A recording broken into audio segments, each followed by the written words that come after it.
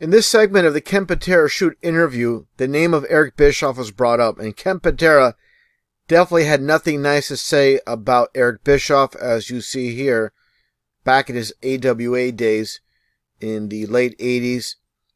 And the funny thing is, is I actually sent this clip to Eric Bischoff on Twitter a couple years back, and he definitely saw it because he talks about it with Conrad Thompson on their podcast.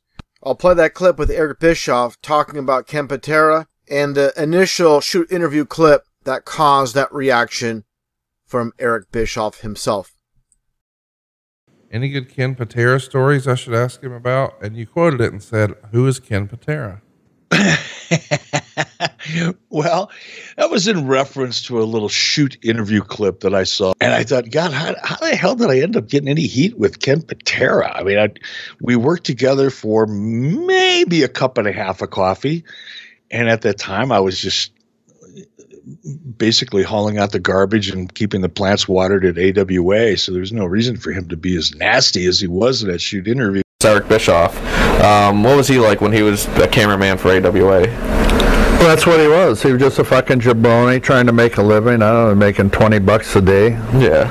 I don't think, uh, Gagne couldn't have paid him more than 20 bucks a day. There was no money in the AWA. Yeah. Did you think that he showed any qualities where he would go on? Absolutely none. Okay. I thought he was just like everybody, just a fucking jabroni trying to hang around the, the wrestlers.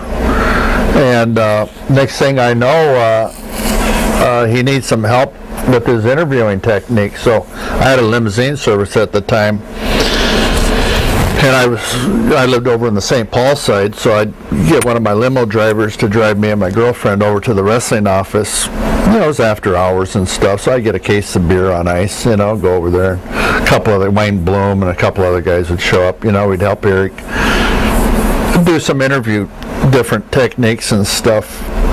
And I said, "What's this all about, Eric?" I said, "You can start uh, interviewing guys, you know, doing the interview phase." And well, I'm, I'm gonna, yeah, and there's uh, might be a chance with uh, the NWA. I think that was before the WCW chain, name change. I said, "Really?" I said, uh, "Yeah."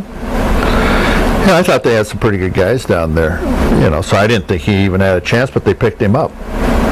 Well, they had Cowboy Bill Watts and a bunch of other guys go through the WCW, insulting, you know, it went from a wrestling mentality to a corporate mentality.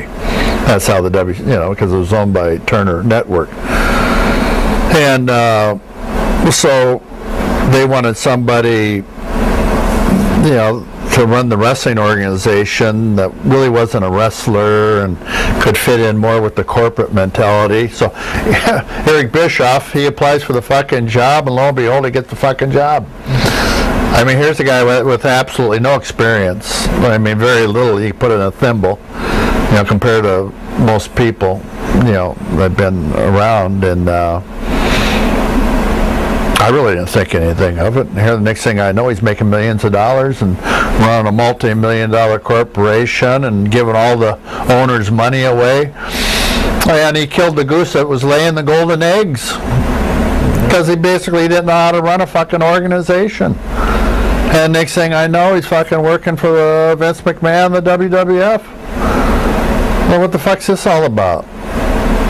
You know, I don't know if there's a little wishy-washy there with uh, McMahon and Patterson and Bischoff. I don't know those guys, you know, they they wear pants in the day and dresses at night. I don't know what the fuck's going on over there. Sometimes I wonder.